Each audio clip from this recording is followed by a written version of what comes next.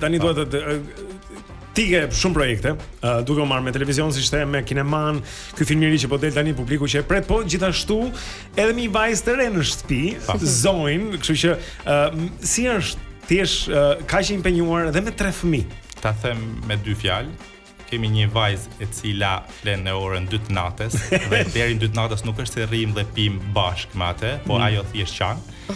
Dhe kam një djalë i cili çohet në 5 të mëngjesit.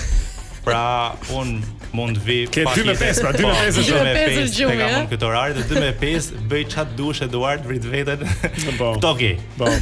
Jo, se kur uh, kur po uh, bëhesha gati për këtë intervistë thashë do të arrijë Eduardi që kemi shumë njerëz për shkak që nuk duan të zgjohen herët për të ardhur këtu. Unë ti je zgjuar. Unë jam që në orën 6 që pi kafe këtu hapim këtë lokalin poshtë me këta. Kështu që nuk kam asnjë problem as për natën, mund të më thrasësh edhe në orën 2 të natës do të vi. Vi direkt. Mund të më thrasësh edhe në orën 5 të mëngjesit do vi. Na fiku kjo ora tashi se çuni m'u zgju me orën e vjetër. Po, ka problem tjetër. Po, katër, katër e gjysë u çu te turni i parë. Po meqenëse jemi edhe tek çunat. A bën ndonjë çik Për Zojën.